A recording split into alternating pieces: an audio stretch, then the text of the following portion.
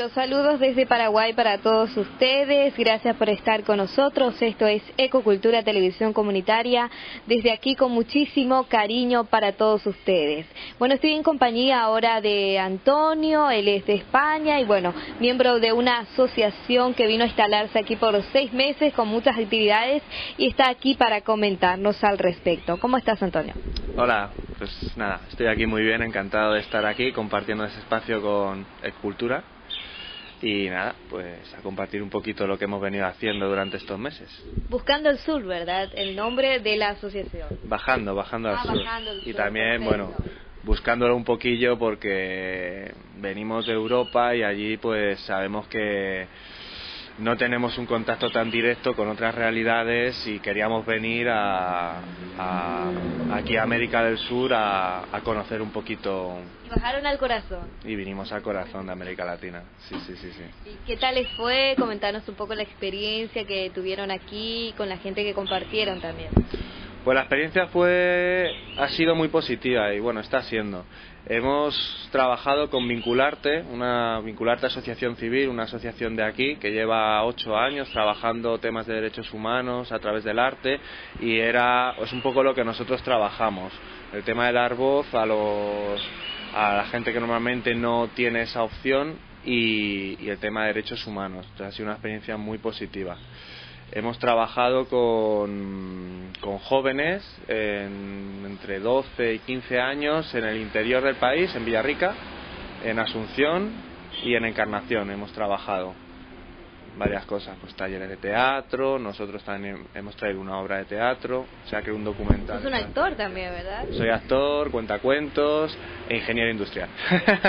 Magnífico de todo un poco entonces. Y lo que nos decía que le gustó más de Paraguay es el frío, ¿no es cierto, Antonio? Sí, el frío de Paraguay está muy bien. La verdad es que está, las casas están poco preparadas, pero está bien encontrarse esa diferencia, ¿no? Allí estamos muy acostumbrados a la calefacción, a todas las mantas, a todo, y aquí es un frío distinto que se te mete hasta en los huesos bastante. y se siente. Y está muy bien sentirlo, sí. Bueno, perfecto entonces. Y Antonio, te quedaste un poquito más de lo debido. Sí, en teoría el proyecto ya acabó eh, hace dos o tres semanas, pero bueno, me, me gustó y estoy aquí, bueno, estoy aquí terminando de ultimar los detalles del documental y estoy recibiendo un teatro, un curso de teatro antropológico, aquí un grupo muy bueno que hay que se llama Ara Teatro, con un proyecto intercultural que tienen que se llama Tierra sin Mal, de los guaraníes. Y muy interesante el trabajo, un entrenamiento, o sea, es un trabajo de entrenamiento corporal y estamos haciendo. Y nada, también me he quedado para asistir al Festival de Teatro Juvenil, que es un evento que estoy sorprendido de lo, grande que es y, y de una iniciativa que viene jóvenes, organizado por jóvenes, que mueve 30 grupos de, de teatro de todo el Paraguay, también tiene eh, un pequeño festival itinerante que va a empezar ahora en un mes. Y me he quedado también para compartir esa experiencia que de hecho intercambio intercultural pues compartamos. Dale, qué lindo que hayas tenido la oportunidad entonces de compartir también con la gente y con nuestros artistas por sobre todo. Bueno, en principio ustedes vinieron entre tres, ¿verdad? sí. Somos una organización muy joven que llevamos apenas dos años. De hecho la organización viene de un viaje que hizo uno de los miembros que un viaje aquí en Latinoamérica que bajó hacia el sur y de ahí viene el nombre. Y, y le llamó la atención pues eso todo el tema del contacto con las personas los encuentros y ahí nació la idea de venir otra vez trayendo talleres de teatro social y una obra de teatro. Y ahora somos una organización pues somos ahora mismo cuatro personas y hemos venido tres.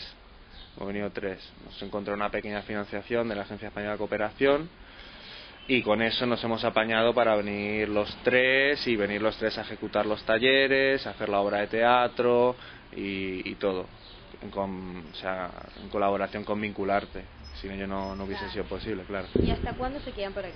Pues ellos ya se fueron, ya te digo. Yo me he quedado aquí, me quedo aquí unas semanas más para terminar el curso y tal, y ahora con la idea un poco de, mm, sin financiación ya ni nada, recorrer yo un poco de Bolivia, Perú, Chile, también buscando la misma idea, llevar unos pequeños talleres en la mochila, un pequeño cuentacuento de temática social y moverlo un poco con los contactos y la gente que vaya encontrando y que pueda proveerme para seguir con esta idea de, de generar intercambio cultural y de, aproximarnos pues más allá del charco. Qué lindo entonces eso, Antonio. Y ahora sí, contanos, ¿qué es lo mejor que te llevas de nuestro país? Lo mejor que me llevo, la gente de aquí.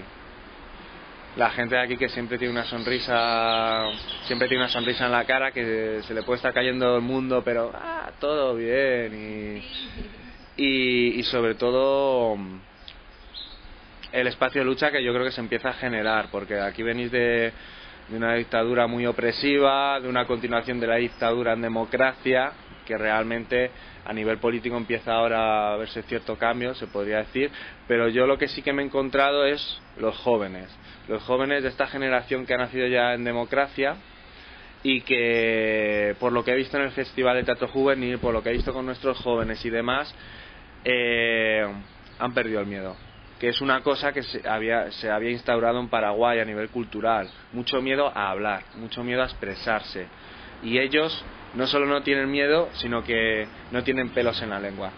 Eh, ven algo mal y ellos lo dicen, ellos dan su opinión y por ahí pueden venir cambios sociales y nosotros apostamos por eso, ¿no? El teatro como herramienta para el cambio social. Y ahora yo creo que es un momento muy bueno en Paraguay porque esos jóvenes han perdido el miedo y tienen esa voz para, para expresar lo que quieran. Magnífico. Ahora cambiando un poquito de tema, contanos eh, cómo fue la impresión que te dio al ver la cocina solar. Ah, la cocina solar.